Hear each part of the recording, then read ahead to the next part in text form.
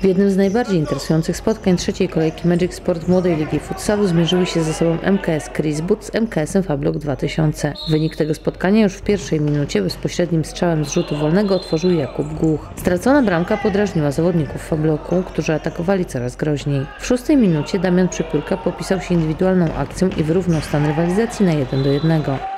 Tuż przed końcem pierwszej połowy Fablok miał szansę na wyjście na prowadzenie, ale piłka po strzale z przedłużonego rzutu karnego odbiła się tylko od poprzeczki. Po zmianie stron Chris Booth zepchnął Fablok do obrony, rozgrywał atak pozycyjny i długo utrzymywał się przy piłce. Szanowianie starali się kontrolować, ale nieskutecznie. Zespół Strzebini był ustawiony wysoko i atakował. W 27 minucie Damian Rzepa przyblokował wybicie bramkarza Fabloku i piłka po rykoszecie wpadła do bramki. Końcówce zespół z Szanowa wycofał bramkarza, walcząc o wyrównanie, ale wynik już się nie zmienił i MKS Chriswood pokonał Fablok 2 do 1.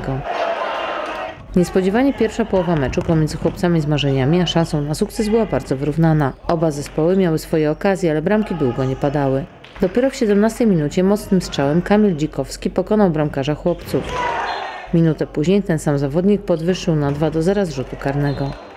Po zmianie stron worek z bramkami się otworzył, ale dopiero w 26 minucie. Jednak do końca spotkania strzelali tylko zawodnicy szansy. W 32 minucie prowadzili już 5 do 0, a ich rywale byli kompletnie rozbici.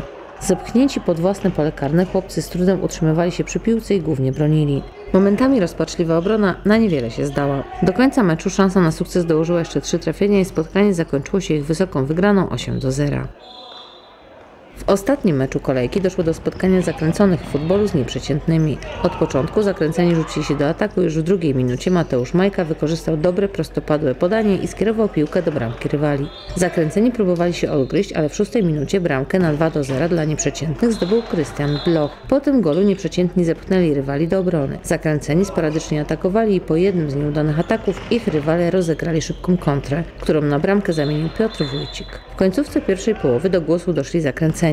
Najpierw bramkę z dystansu zdobył Łukasz Palu. W 18 minucie w podobnej sytuacji bramkarz nieprzeciętnych Tomasz Ćwikła zbagatelizował płaski strzał i piłka po odbiciu się od jego nóg wpadła do bramki.